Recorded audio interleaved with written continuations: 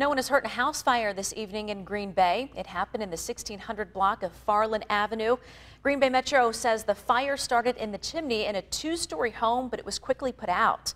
The damage is around $5,000. The fire department recommends having your chimney inspected each year by a certified personnel.